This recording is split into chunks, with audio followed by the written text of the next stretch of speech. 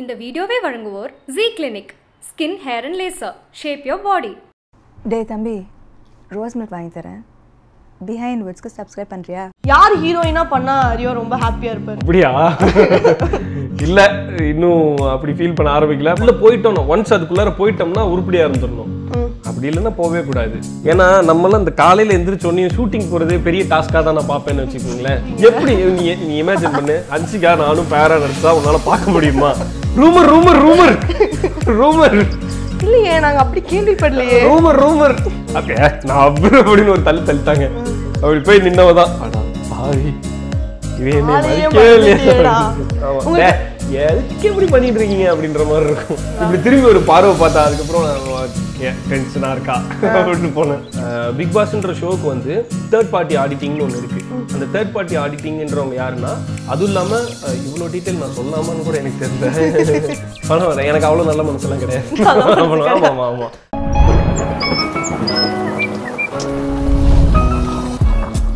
G clinic proudly presents Behindwoods the girl next door with Kavya இன்னைக்கு நம்ம யாரை interview பண்ண போறோம்னு பார்த்தீங்கன்னா சன் மியூசிக்ல ஒரு விஜேவா கலக்கு கலக்குன்னு கலக்கி இப்போ ஹீரோவா இன்ட்ரடியூஸ் ஆக போறாரு. ஓகே ஹலோ வணக்கம். இருக்கீங்க? ரொம்ப நல்லா இருக்கேன் பிகின் வித் வியூவர்ஸ் எல்லாருக்கும் வணக்கம். ஸோ வந்து இப்போ பார்த்தீங்கன்னா சிவா அண்ணாவோட ப்ரொடக்ஷனில் நீங்கள் ஹீரோவாக பண்ணுறீங்க அது எவ்வளோ சந்தோஷமா இருக்கு? பயங்கர சந்தோஷமா இருக்குங்க. எவ்வளோ சந்தோஷமா இருக்குன்னு மெஷர் பண்ணி சொல்ல முடியாத அளவுக்கு அவ்வளோ சந்தோஷமா இருக்கு. சரி இப்போ வந்து அந்த ப்ராஜெக்ட் எப்படி நான் கிடைச்சது. ஃபர்ஸ்ட் அது வந்து நீங்கள் பிளாக் ஷீப் டீம் இருக்காங்க இல்லையா? அவங்க மூலியமா தான். அவங்க தான் அந்த கதையை என்கிட்ட சொன்னாங்க. ஓகே அவரு கார்த்திக் வேணுகோபால்னு சொல்லிட்டு சேட்டையன் கார்த்திக்னு சொல்லுவாங்க. அவரோட கதை தான் அது. ஸோ அவர் கதை ப்ரிப்பேர் பண்ணும்போதே என்னை வச்சு தான் பண்ணேன் அப்படின்னு சொன்னாரு. அது நம்ப தகுந்ததா இல்ல நான் அவர்கிட்ட திரும்ப திரும்ப ஏன்னா கதை கேட்டு முடிச்சதுக்கு அப்புறமேட்டு இவ்வளவு நல்லா இருக்கு இது எப்படி நீங்க என்னைய வச்சு யோசிச்சீங்க அப்படின்னு நினச்சிருக்கீங்களா? நான் நம்ம ஹீரோவெல்லாம் பண்ணுவோம் அப்படின்னு. நான் நினைச்சதெல்லாம் இல்ல பட் சொல்லுவாங்கல்ல ஹீரோ பண்ணு அப்படின்னு சொல்லிட்டு நிறைய பேர் சொல்லுவாங்க. பட் நான் ஆசைப்பட்டோ நினைச்சோலாம் பண்ணதில்லை. எனக்கு நடிக்கணும்னு ஆசை இருக்கும். ஹீரோன்றது பெருசா மைண்ட்ல இல்லாம தான் இருந்தது. இப்போ ஒரு மாதிரி இப்போ இப்போ ஆசை வந்துருச்சு. நான் ஹீரோ இப்போ ஆகணும் வந்து சிவா நான் எனக்காவது நினச்சிருக்கீங்க ஐயோ சிவா நான் நம்மளை வச்சு ரிஸ்க் எடுக்கிறாரே அப்படின்னு எனக்காவது ஃபீல் பண்ணியிருக்கீங்களா அப்படியா? இல்ல இன்னும் அப்படி ஃபீல் பண்ண ஆரம்பிக்கல. படம் ஷூட்டிங் போனதுக்கு அப்புறம் அப்படி தோணுச்சுன்னா ஃபீல் பண்ண மாட்டாங்கன்னு நாங்களும் நம்புறோம். இல்ல நாங்க அந்த அந்த பொறுப்புக்குள்ளார நாங்களே வந்துட்டோம். பிளாக் ஷீப் டீமும் சரி நானும் சரி. எந்த இடத்துலயும் ஏன்னா அந்த ரெஸ்பான்சிபிலிட்டியை வந்து அவர் அந்த ஆடியோ லான்ச்ல கனா ஆடியோ லான்ச்ல அவர் அனௌன்ஸ் பண்ணார் இல்லையா அந்த அன்னைக்கு ஐ மீன் அந்த அன்னைக்கே எங்களுக்கு அந்த ரெஸ்பான்சிபிலிட்டி அதோட வேல்யூ என்னன்றதை நாங்க ரியலைஸ் பண்ணிட்டோம். பிகாஸ் கால் பண்ணி விஷ் பண்றவங்க எல்லாரும் வெறும் விஷ் மட்டும் பண்ணாம எல்லாருமே அட்வைஸ் பண்ணாங்க. கரெக்டா பண்ணிடணும் கரெக்டா பண்ணிடணும் அப்படின்னு சொல்லிட்டு எல்லாருமே சொல்லும்போது நமக்கே ஒரு ஒரு பொறுப்பு தானாவே நம்மளே அறியாம வந்து ஒட்டிக்குச்சு. சரி இப்போ வந்து பிக் பாஸ் வீட்டுக்குள்ள போயிட்டீங்க. உங்களை அனுப்பிட்டாங்க. ம். ஆனா அங்க இருக்க பிடிக்கல. என்னெல்லாம் யூஸ் பண்ணி என்னெல்லாம் ஸ்ட்ராட்டஜி யூஸ் பண்ணி வெளில எஸ்கேப் ஆகி வருவீங்க? அப்படி என்னை ஃபோர்ஸ் பண்ணி உள்ள அனுப்பிட்டாங்கன்னு வச்சுக்கோங்களேன். ஃபர்ஸ்ட் வெளியே வந்துட மாட்டேன். முடியிற வரையும் கஷ்டப்பட்டு உள்ள இருப்பேன். வெளியே எப்போ எவிக்ட் ஆகிறனோ அப்பதான் வெளியே. எவிக்ட் ஆகிறதுக்கு என்ன வேலைன்னு பார்ப்பீங்களா ஆஹா எதுவுமே பண்ண மாட்டேன். உள்ள போயிட்டோம் ஒன்ஸ் அதுக்குள்ளார போயிட்டோம்னா உருப்படியா இருந்துடணும். அப்படி இல்லைன்னா போகவே கூடாது. நான் அதனால தான் போகவே இல்லை. போவே இல்லை. கூப்பிட்டாங்களோ? ஃபர்ஸ்ட் சொன்னாங்க பட் ஆனா அது டீமாலாம் கேட்டுலாம் இல்லை. போறியாடா அப்படின்னு ஒரு ஆப்ஷன் வந்தது. நான் அப்பவே இல்லை வேணாம் வரலன்ட்டீங்களா? அப்படின்ட்டேன். ஆமா. ஆனா இப்போ இந்த எவிக்ஷன் ரெண்டு வாரமா நடந்துட்டு இருக்கு பிக் பாஸ்ல பார்த்துட்டு இருக்கோம் எல்லாருக்கும் என்ன ஒரு ஃபீலிங்னா அது ஒரு நியாயமா நடக்கலையோ அப்படி ஒரு ஃபீலிங் யார் இருக்கணுமோ அவங்க இல்ல. யார் வெளில வரணுமோ அவங்க வர மாட்டேங்கிறாங்க. அது அதை பத்தி நீங்க என்ன நினைக்கிறீங்க? எனக்குமே அந்த ஒப்பீனியன் இருக்குதான். ஓகே. யார் இருக்கணுமோ அவங்க இருந்திருக்கணும் உள்ள யாரெல்லாம் வேணாம்னு நினைக்கிறோமோ அவங்களாம் உள்ள இருக்காங்க. அப்படின்ற மாதிரி எனக்கும் அந்த ஒப்பீனியன்லாம் இருக்கு. பட் அதுக்காக அந்த டீம் வந்து நியாயமா ஒர்க் பண்ணல அப்படின்லாம் கிடையவே கிடையாது. இது நான் சேனல்ல இருக்கேன்றனால சொல்ல எனக்கு ஒரு விஷயம் பிடிக்கலன்னா சேனலாக இருந்தாலும் சரி நான் பண்ற ஷோவாக இருந்தாலும் சரி நான் பண்ற சீரியலாக இருந்தாலும் சரி. எனக்கு எனக்கு அது சரியில்லை அப்படின்னு தோணும்போது நானுமே ஜென்ரல் ஒப்பீனியனாக தான் சொல்லுவேன். ஜென்ரல் பப்ளிக்காக இருந்து தான் அந்த ஒப்பீனியனையும் சொல்லுவேன். அப்படி பார்க்கும்போது நான் இது சேனலாலாம் சொல்லலை. கொஞ்சம் அதை பத்தி தெரிஞ்சனால சொல்றேன். பிக் பாஸ்ன்ற ஷோக்கு வந்து தேர்ட் பார்ட்டி ஆடிட்டிங்னு ஒன்று இருக்கு. அந்த தேர்ட் பார்ட்டி ஆடிட்டிங்ன்றவங்க யாருன்னா எந்த சேனல்லையும் சார்ந்திருக்காதவங்க. ஸோ அவங்க தேர்ட் பார்ட்டினா இட் மீன்ஸ் தேர்ட் பார்ட்டி அவங்க. ஸோ அவங்க தான் ஆடிட் பண்றாங்க. அப்போ நீ ஓட்டிங்லேயோ இல்ல இந்த சிஸ்டம்லயோ எந்த சேஞ்சும் பண்ண முடியாது. அதுவும் இல்லாம அஹ், இவ்வளோ டீட்டெயில் நான் சொல்லாமான்னு கூட எனக்கு தெரியல. சொல்லிட்டீங்க இந்த பிக் பாஸ்ன்ற ஷோ வந்து விஜய் டிவியோட ஷோ கிடையாது. அது வந்து வேற ஒரு ப்ரொடக்ஷன் கம்பெனியோட அந்த கம்பெனி தான் ரைட்ஸ் வச்சிருக்காங்க. ஸோ அவங்க நினைச்சா அவங்க எந்த சேனல் வேணாலும் கொடுக்கலாம். ஓகே ஸோ ஹிந்தி பிக் பாஸும் சரி தமிழ் பிக் பாஸ் தெலுங்கு மலையாளம் எல்லா பிக் பாஸும் வேற ஒரு ஒரு- ப்ரொடக்ஷன் கம்பெனியோடது ஸோ அப்போ இது விஜய் டிவி தான் ஏமாத்துறாங்க அப்படின்னு நீங்கள் சொல்ல முடியாது. ஏன்னா அது விஜய் டிவியோட ஷோவே கிடையாது. அது வேற ஒரு ப்ரொடக்ஷன் கம்பெனியோட ஷோ அது விஜய் டிவியில் டெலிகாஸ்ட் ஆகுது. அப்படிதான். இதே மாதிரி தான் சரவணன் மீனாட்சி சீரியலும் சரவணன் மீனாட்சி சீரியல் குளோபல் வில்லேஜஸ்ன்ற ப்ரொடக்ஷன் கம்பெனி இது. அது விஜய் டிவியில் டெலிகாஸ்ட் ஆகுது. ஸோ உங்களுக்கு என்னைக்காவது தோணிருக்கா? இது ஃபேக் பண்றாங்க ரொம்ப அப்படின்னு தோணிருக்கா? டெய்லி தான். டெய்லி தோணுதா? ஆமா. டே, எதுக்கு இப்படி பண்ணிட்டு இருக்கீங்க அப்படின்ற மாதிரி இருக்கும். அஹ் ஆனா அந்த பிக் பாஸ் இப்போ நடக்கிறதுலே இந்த கண்டஸ்டன்ட் பரவாயில்ல இவங்களை எனக்கு பிடிச்சிருக்குன்னா அப்படின்னா யாரு சொல்வீங்க? அப்படி பிடிச்சிருக்குன்னு சொல்லி என்னால யாரையுமே பின் பாயிண்ட் பண்ண முடியல. நடக்கிறத வச்சு சொல்லும்போது ரித்விகா கொஞ்சம் ஓகே அப்படின்ற விளையாடுறாங்க அப்படின்னு சொல்றீங்க. அவங்க ஒரு மாதிரி சேஃப் கேம் ஸ்டார்டிங்லேருந்து சேஃப் கேம் விளாட்றாங்க ப்ளஸ் அவங்க அதுக்குன்னு அவங்களோட ஒரிஜினாலிட்டியை ஸ்பாயில் பண்ணிக்கிட்டோ அந்த மாதிரிலாம் எதுவும் இல்லை. முடிஞ்சளவு அவங்களோட ஒரிஜினாலிட்டியும் இருக்குது ப்ளஸ் அவங்க கரெக்டாகவும் நடந்துக்கிறாங்க. எல்லா விஷயத்துலையுமே கரெக்டாக இருப்பாங்க. ஆக்சுவலாக ரித்விகா மேலே எனக்கு சம்டைம்ஸ் சந்தேகம் வரும். ஏன்னா ஹண்ட்ரட் பர்சன்ட் பர்ஃபெக்டாக யாருனாலையுமே இருக்க முடியாது. நீ எப்படி ஹண்ட்ரட் பர்சன்ட் பர்ஃபெக்டாக இருக்க? அப்படின்ற அந்த கொஸ்டினும் வரும் எனக்கு. பட் ஆனால் இப்போ இருக்க ஷோ பார்க்கும்போது ரித்விகா ஓகே கரெக்டாக இருக்காங்க அப்படின்னு தோணும். அப்புறம் வந்து நீங்க பயங்கரமான அஜித் ஃபேன்னால இந்த ஒரு கொஸ்டின் இப்போ இந்த சரவணன் மீனாட்சியில கூட உங்க என்ட்ரி நாங்க பார்த்திருக்கோம். அப்படி இந்த பால் அபிஷேகம்லாம் அது தலைவருக்கு பண்ணுற மாதிரி தலைவருக்கு பண்ற மாதிரி. அந்த மாதிரி ரியல் லைஃப்ல தலைக்கு நீங்க என்ன மாதிரி பண்ணிருக்கீங்க? அந்த மாதிரி பயங்கரமா ஏதாவது பண்ணிருக்கீங்களா? ஃபர்ஸ்ட் டே ஃபர்ஸ்ட் ஷோ கண்டிப்பா போயிடுவேன் தலைப்படத்துக்கு ஊர்ல இருக்கும்போது. அப்படி போகும்போது கண்டிப்பா ஒரு பெரிய கேங்கோட போவோம். அவ்வளவுதான். மத்தபடி பாலாபிஷேகம் பண்ணது அந்த மாதிரிலாம் நான் பண்ணதில்ல. ஏன்னா ஒரு ஒரு ஒரு பர்டிகுலர் ஏஜ் வரையும் என்னை படம் பார்க்கறதுக்கே விட மாட்டாங்க வீட்ல இருந்து. அது- அதுக்கப்புறம் தான் அந்த மாதிரி போகலாம் ஆரம்பிச்சது. அப்பயும் அந்த பாலாபிஷேகம்லாம் பண்ணும்போது எனக்கு எனக்கு அதெல்லாம் தெரியாது. அந்த மாதிரி ட்ரையும் பண்ணதில்ல. ஆனா ஃபர்ஸ்ட் டே ஃபர்ஸ்ட் ஷோ ஃப்ரெண்ட்ஸோட கம்பல்சரி போயிடுவோம். தலைப்படத்துக்கு. ஆமா. ஸோ வந்து ஒரு ஏதாவது ஒரு குரூப் இருக்கும்ல தலையை பிடிக்காத ஒரு குரூப் இருக்கும்ல அவங்கள வந்து நாங்களே காசு செலவு பண்ணி கூட்டு போய் உட்கார வச்சு? தலை அந்த படம் ஓட ஓட தலையோட அருமை பெருமையெல்லாம் சொல்லி அவனை அடிச்சு கொடுமைப்படுத்தி அவனை படம் பார்க்க வைப்போம். அப்படி. எதனால அந்த அஜித் ஃபேன் இப்போ வந்து எல்லாருக்கும் பிடிக்கும் பட் ஃபேனுன்றப்போ நம்மளுக்கு ஒரு விஷயம் பயங்கரமா பிடிச்சிருக்கணும்ல? அந்த மாதிரிலாம் நீங்க தலை பத்தி என்ன சொல்வீங்க? அப்படி சொல்லணும்னா தெரியலம்மா. இது ரொம்ப சின்ன வயசுலேருந்தே ரொம்ப பிடிக்கும். நாங்கள் ஈரோடில் இருக்கும்போது அங்கே இருக்க மெக்கானிக்கு அந்த பைக்கர்ஸு அவங்க கூடலாம் கொஞ்சம் பழக்கம் இருக்கும். என் அண்ணன் ஸோ அவங்களோட ஃப்ரெண்ட்ஸ்னு பார்க்கும்போது பைக் ரேஸ் ஓட்டுறவங்க கூடலாம் கொஞ்சம் பழக்கம் இருந்தது. ஸோ அவங்க வந்து தலையை பற்றி நிறைய தலையோட அருமை பெருமைலாம் அதே மாதிரி தான் அவங்க சொல்லி சொல்லி சொல்லி சொல்லி நமக்கு ரொம்ப பிடிச்சிரும். ஸோ அதுவும் இல்லாமல் தலையை வந்து ஒரு ஆக்டர்ன்றதெல்லாம் தாண்டி ஒரு பர்சனல் கேரக்டராக நம்மக்கிட்ட நிறைய எப்படி போற்றி ஆயிருக்கோ அதை வச்சு எனக்கு அவரை ரொம்ப பிடிக்கும். அந்த தன்னம்பிக்கை. ஸோ உங்களுக்கு கேர்ள் ஃபேன்ஸ் வந்து பயங்கர ஜாஸ்தி. எனக்கு தெரிஞ்சு நிறைய பேர் இருக்காங்க. இல்ல உண்மைனா அது கண்டிப்பா உண்மை. கல்யாணத்துக்கு அப்புறம் ரொம்ப எம்பாரசிங்கான ஒரு ஃபேன் மூமெண்ட்னா நீங்க எதை சொல்லுவீங்க? கல்யாணத்துக்கு அப்புறமா? கல்யாணத்துக்கு அப்புறம் இல்லைன்னா ஸ்ருதி கூட இருந்த டைம்ல எங்கேயாவது வெளில போன டைம் அது கல்யாணத்துக்கு அப்புறம் இல்ல. இங்க சென்னையில இருக்க ஒரு கேர்ள்ஸ் காலேஜ் போயிருந்தப்போ ஒரு மொமெண்ட் ரொம்ப எம்பாரசிங்கான ஒரு மொமெண்ட் இருந்தது எனக்கு. என்னதுன்னா அது? சுத்தியை தள்ளி விட்டாங்க சைடுல அப்போ வந்து சுத்தி வந்து ஐ மீன் சுத்தி வந்து யாருன்னே வெளியே யாருக்கும் தெரியாது. அப்போ வந்து ஸ்டேஜ்ல இருந்து இறங்கி வரும்போது ஒரு ஒரு பெரிய கேர்ள்ஸ் கேங்கு சுத்தி வளர்ச்சிட்டாங்க நல்லா இருந்துச்சு. எனக்கு ஜாலியா இருந்தது. ஒரு- ரெண்டு நிமிஷம் கழிச்சு ஒரு டூ மினிட்ஸ் கழிச்சு திரும்பி பார்த்தேன். கூட ஒரு கேரக்டர் இருந்துச்சு அப்படின்னு பார்த்தா அது ரியலைஸ் பண்ண டூ மினிட்ஸ் ஆச்சு அவங்க ஆமா ஆமா ஆமா. நான் ஏன்னா நான் வெளியே வரும்போதே சொல்லியிருந்தேன் அவள்கிட்ட. கையை பிடிச்சிட்டு கூடவே வந்துரு. டக்குன்னு போய் வண்டி எடுத்துட்டு கிளம்பிடலாம் அப்படின்னு சொல்லி தான் கை பிடிச்சி கூட்டு வந்தேன் அந்த டைம்ல இல்ல இல்ல பரவாயில்ல பரவாயில்ல நீங்க எடுத்துக்கோங்க செல்ஃபி எடுத்துக்கோங்க அப்படின்னு சொல்லிட்டு பெரிய பெரிய மனசோட அவங்க வந்து எடுத்துக்கோங்க எடுத்துக்கோங்க அப்படின்னு நவுந்தாங்க. அப்ப நான் அப்படின்னு ஒரு தள்ளு தள்ளிட்டாங்க. அப்படி போய் நின்னவ தான் அடா பாவி.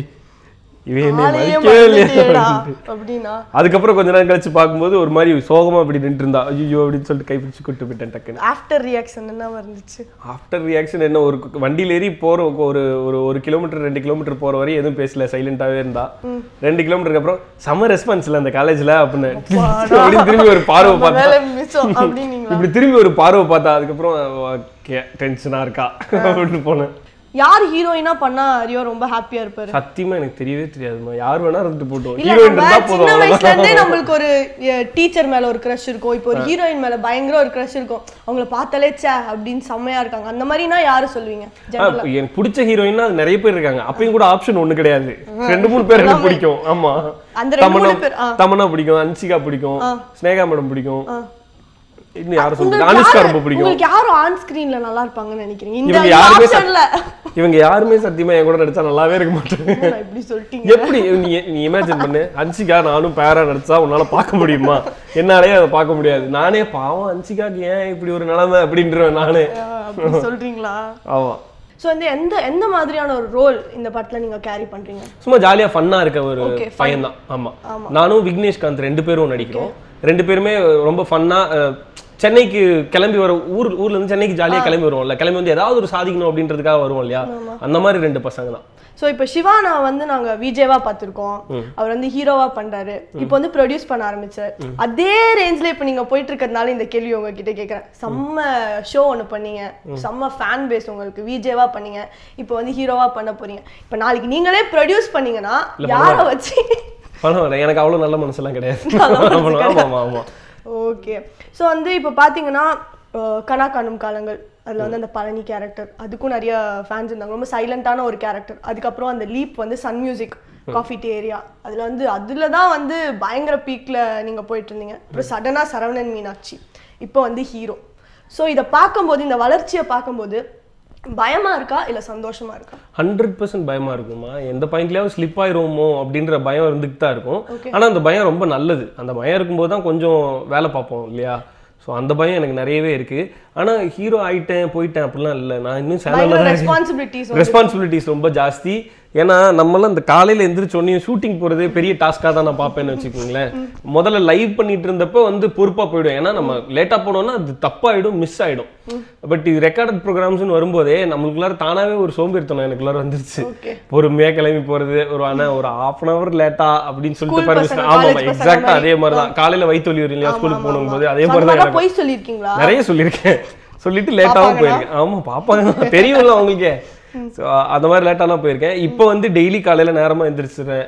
டெய்லி கரெக்டா ஜிம்முக்கு போறேன். அந்த மாதிரி ரொம்ப நீங்க இந்த ஸ்கூல் காலேஜ்னு கேட்கறதுனால இந்த கொஸ்டின் பிகாஸ் எங்களுக்கு ரியோ வந்து பயங்கர ஒரு ஃபன் லவ்விங் பர்சனா நல்லாவே தெரியும். ஸோ நிறைய குறும்புத்தனம் பண்ணிருப்பீங்க நிறைய பண்ணிருப்பீங்க. ஆனா கல்யாணத்துக்கு அப்புறம் அதை பண்ணியிருக்க கூடாதோ இந்த மாதிரியே இருந்திருக்க கூடாதோ நீங்க ஃபீல் பண்ண ஏதாவது ஒரு விஷயங்கள் நான் ஒழுங்கா படிச்சிருக்கணும்னு ஃபீல் பண்ணேன். ஆமா. அவங்க சுத்தியோட ஃபேமிலி எல்லாருமே வெல் எஜுகேட்டட் ஃபேமிலி. அவங்க கூட உட்காந்து பேசும்போது இந்த எப்படின்னா நான் மட்டும் சம்பந்தமே இல்லாம இருப்பேன்.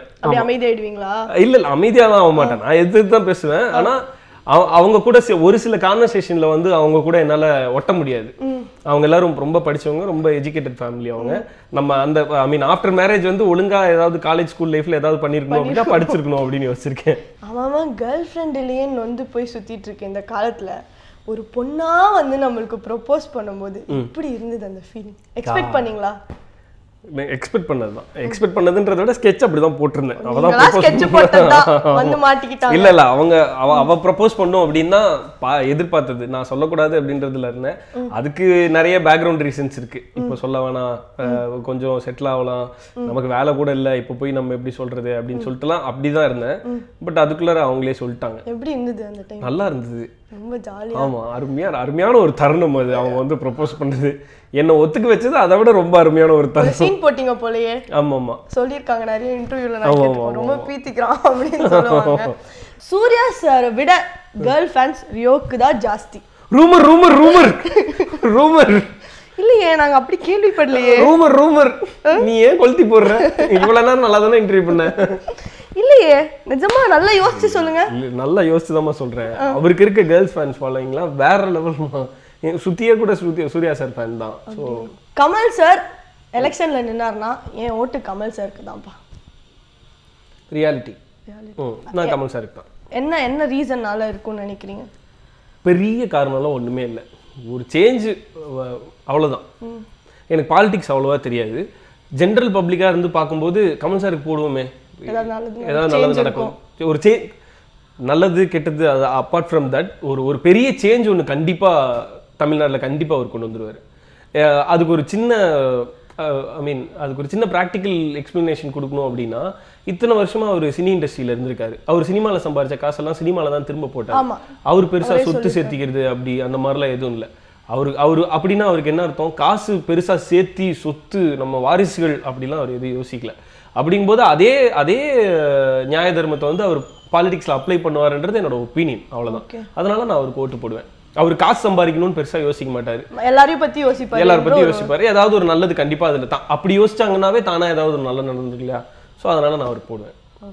ஸோ உங்களோட கொஸ்டின் செஷன்ஸ் எல்லாம் முடிஞ்சிருச்சு. அப்படியா? ஆமா.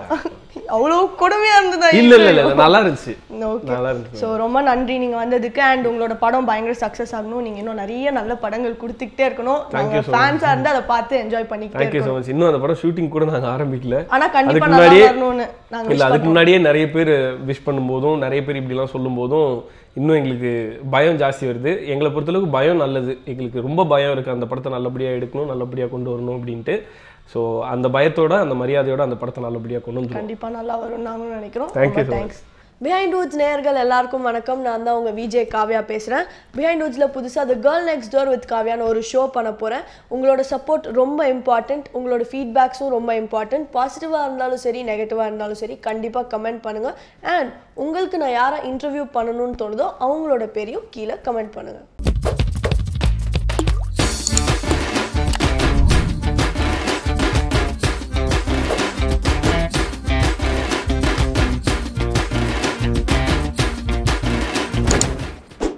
இந்த வீடியோவை வழங்கியோர் G clinic skin hair and laser shape your body